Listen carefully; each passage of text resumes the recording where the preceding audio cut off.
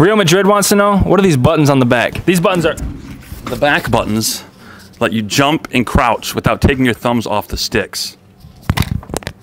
no, you just, it takes 30 seconds. I'm in every video. I can't do it. I just, I can't be in every single one. It looks bad. Real Madrid wants to know, what are these buttons? Dog. Dog.